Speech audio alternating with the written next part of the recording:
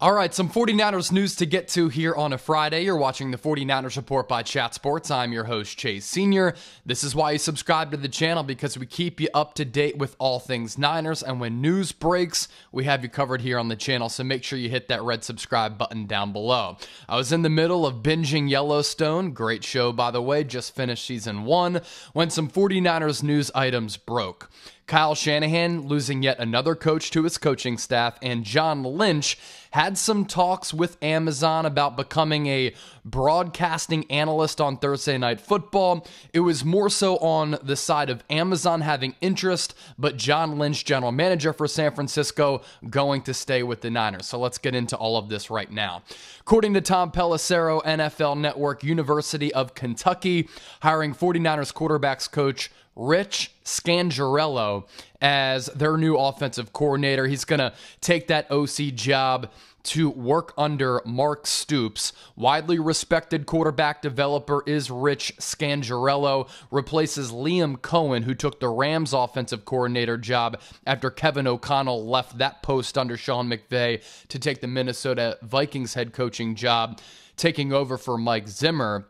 And Liam Coen ran a zone scheme that, of course, Rich Scangarello knows really well throughout his entire time in the NFL, especially under head coach Kyle Shanahan. So now it's yet another subtraction to Kyle Shanahan's coaching staff. And already over the last few weeks, there's been a lot of movement under head coach Kyle Shanahan, which is a good thing because that means he's really developing coaches and he's widely respected in that manner. It's a bad thing because there's a lot of movement taking place. So now, in the past month to be exact, Kyle Shanahan has lost his offensive coordinator and Mike McDaniel, who of course took the Miami Dolphins head coaching job and now is quarterbacks coach to a college OC job. A lot of transition on this offense right now, which is of course notable because this could be the first full year that Trey Lance starts as the quarterback for Kyle Shanahan. And there have now been eight changes to Kyle Shanahan's staff throughout this offseason. Mike McDaniel going to the Dolphins as the head coach, as mentioned. Richard Hightower left to become the Bears special teams coach. Jon Embree was let go. He's now the Dolphins tight ends coach. Wes Welker also followed Mike McDaniel to South Beach to become the wide receivers coach. Butch Barry took the Denver offensive line job. Zach Yenser took the Kentucky offensive line job. James Bettcher went to the Cincinnati Bengals to also coach there as an assistant. And now Rich Scangarello goes to the college ranks from the NFL to take the Kentucky offensive coordinator gig. This is why the hiring of Anthony Lynn, folks, was really important and is still important. And he talked the other day about Trey Lance, why he's excited to work with him, why in today's NFL, if you're not a pocket passer like a Tom Brady or Aaron Rodgers, it's really important to be uber athletic and display a nice little blend of skills like Trey Lance does and possesses. But by bringing in Anthony Lynn, you're able to soften the blow of so many changes to this coaching staff, primarily on the offensive side of the football. Anthony Lynn, of course, knows the Shanahan tree and system well. He played under Mike Shanahan and won Super Bowls with him in Denver, and then really climbed the ranks after his playing career as a coach and became known as a run game specialist, a run game guru, which was really the primary duty, or at least one of them, for Mike McDaniel. And when Anthony Lynn was the head coach of the Los Angeles Chargers, they had a couple of really good years. Justin Herbert starred as a rookie, and Anthony Lynn, widely respected across the NFL in the run game, offensively, and just being a stand up guy who veterans have really come to like and respect. And he's looked at as a really good football mind. So while you're losing all of these guys, you do bring in Anthony Lynn, who has head coaching experience and a bevy of assistant head coaching experience on the offensive side of the ball, coaching running backs to help soften that blow. With Scangarello gone, 49ers will now have a new quarterbacks coach We'll see if Kyle Shanahan hires an offensive coordinator. He calls the plays anyway. In years past, hasn't really needed an OC, but this is going to be if the 49ers move on from Jimmy Garoppolo and trade him, the first full year for Trey Lance as the starting quarterback, this could mean that Bobby Slowik, offensive assistant, who's really worked a lot with quarterbacks, he's on the staff. He could continue to climb the ranks and be one of Kyle Shanahan's next really notable coaches. We'll see if Kyle Shanahan elects to not go with the inexperienced or somewhat inexperienced Bobby Slowik and instead bring in an experienced quarterback coach. So we'll see what happens on that front. That's the latest with Rich Scangarello going to Kentucky to take their OC job. Isn't a massive loss, in my opinion. It's just yet another change to the coaching staff. Let's now get to John Lynch.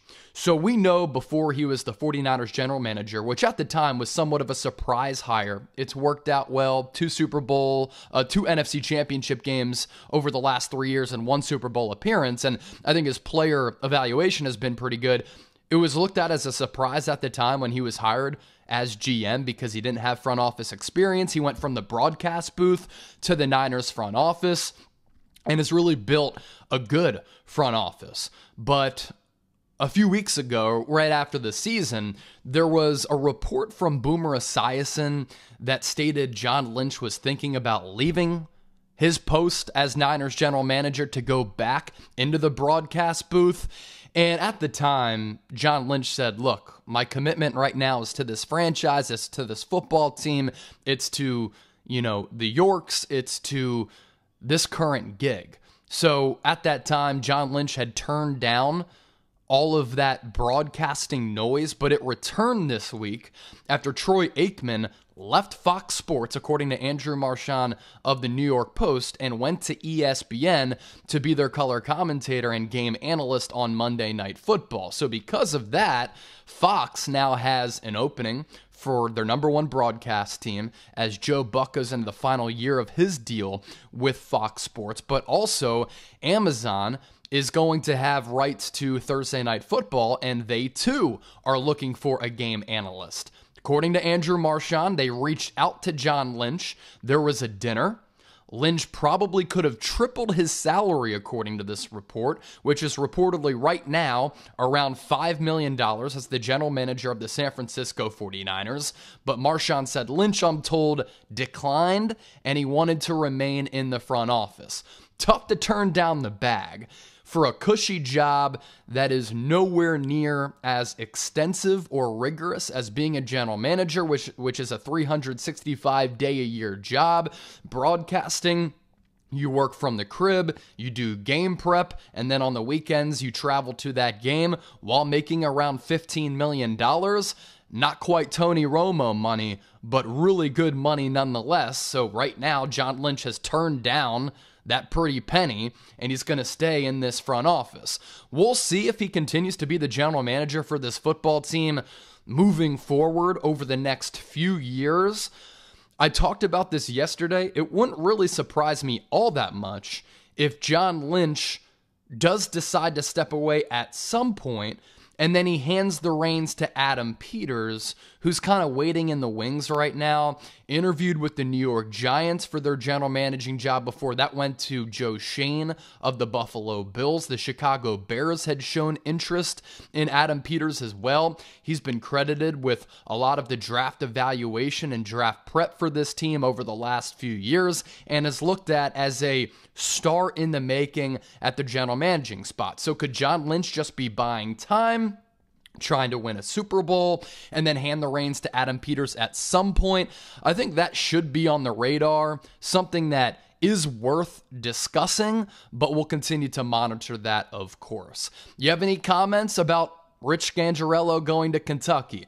John Lynch coming back to the Niners. Chime in in the comment section down below. Make sure you subscribe to the channel. We keep you in the know as good as anybody out there. I'm Chase Senior, host of the 49ers Report. We'll have content coming all throughout this weekend because we push out videos, sometimes multiple videos, every single day. Thanks for watching today's show. Enjoy your weekends.